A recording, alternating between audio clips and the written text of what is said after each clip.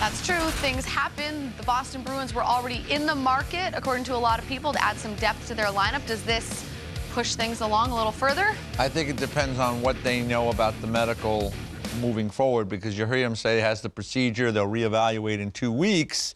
If talking to the doctors, they think it's going to be a lot more, then they may have to try to do something more significant. Time will tell.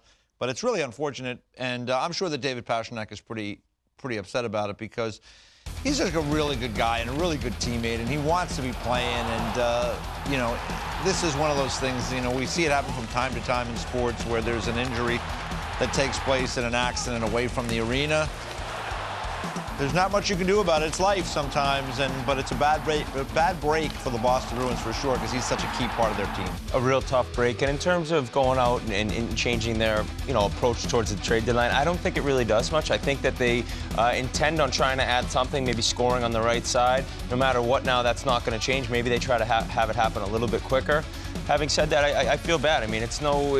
When they, they say he was very heartfelt and feeling bad, and that it just stinks when it's not related to the game that you play. Or practice even that it happened away from the rink. But like you said, just ac- accidents happen, and the Bruins are going to have to pick it up without him because him being that good and them, you know, fighting with Montreal for that third spot in the Atlantic, it's going to be tough for them to miss him for you know two weeks. And they say two weeks. Yeah, that's what I It's a mean. thumb. It's like But who yeah, knows what happens in two weeks? Exactly. Yeah, yeah, that's what he said. He goes, it'll be evaluated. So I'm really, I'll be interested to see what that further evaluation is because if it's another seven, ten days, not so bad. But if it's another several weeks, and you point out the thumb, He's a guy holding your stick, hands. it makes you know fans watch the show, and you could attest this having played, and they think, oh, a guy could just like you wrap his finger or wrap his hand, not a big deal. Uh, it, it- it's all about how you feel holding the stick, and especially with a guy Strength with, in your hand- with hands. hands like that.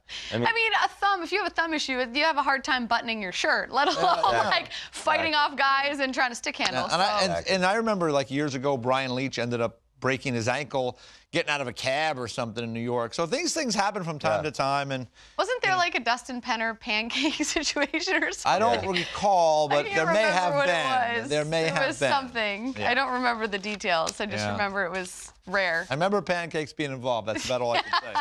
his back went out when he happened. That's to it. eat- There it he is. happened to be Right, eating there pancakes Yeah, while were his you back there? went out. No, he, he told me the story. It's Okay. been it's been overblown, but he did say himself, "I was eating pancakes and my back went out." So forever, he's now connected to I'm being injured by pancakes. Yeah. Hey, it's his own fault. I think he'll say that.